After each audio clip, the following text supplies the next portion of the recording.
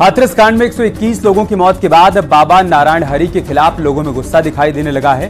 कल तक जिन घरों में लोग उसकी पूजा किया करते थे आज वही लोग उसकी तस्वीर को चप्पलों से पीट रहे हैं। लोगों का कहना है कि बाबा का भी एनकाउंटर होना चाहिए। बाबा में कोई सिद्धि नहीं है। इसी पर आपको दिखाते हैं एक रिपोर्ट इतने बड़े चमत्कारी होते भगवान होते तो इतना बड़ा हादसा ना रोक सकते हो?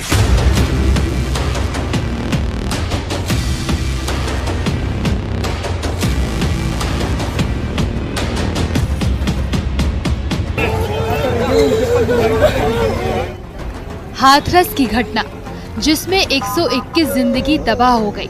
किसी के सिर से पिता का साया तो किसी के सिर से माँ की ममता छिन गई। अब उसी गम और मातम में बाबा नारायण हरि के खिलाफ लोगों का गुस्सा फूट पड़ा है।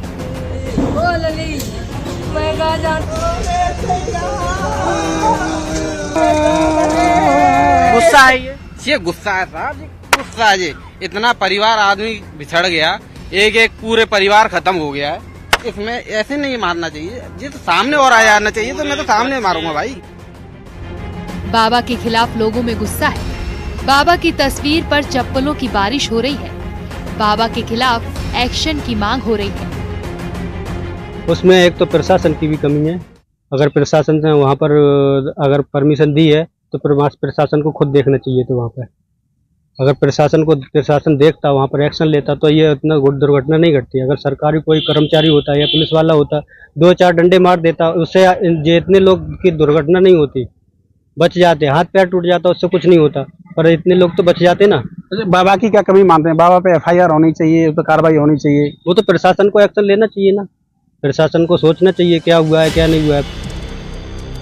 कल तक जिस बाबा को लोग अपना आदर्श मानते थे बाबा के चरणों की धूल को छूने मात्र से अपनी मुरादें पूरी मानते थे। अब उसी बाबा के खिलाफ एनकाउंटर की मांग हो रही है। हमें कोई विश्वास ना था सब अंधविश्वास है। हम तो ये चाह रहे हैं कि जितने बाबा हैं सब उनके एनकाउंटर होनी चाहिए। और जितने सत्संग है सब बंद होने चाहिए।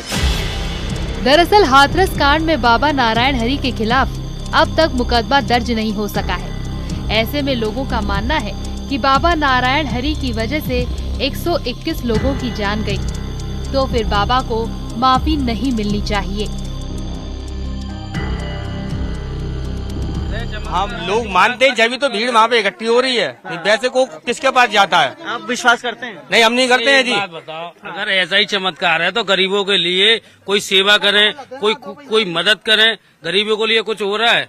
चमत्कार किसका चमत्कार है? इतनी पब्लिक गई। अगर होते भोले बाबा में शक्ति होती जो कहते हैं साकार हरि कहते हैं उनसे जो कहते हैं शक्ति है। शक्ति होती तो 116 लोगों की मौत मौत हो गई। उन उनमें से किसी लंगड़े लूले को ही खड़ा कर दे वो। जिसके हाथ या टू- पैर टूटा चलो मर गया चलो उसे छोड़ो। किसी का हाथ पैर टूटा उसी को सही कर दे वो। तो दूसरी तरफ़ हाथरस घटना की जाँच रिपोर्ट भी सामने आ चुकी है।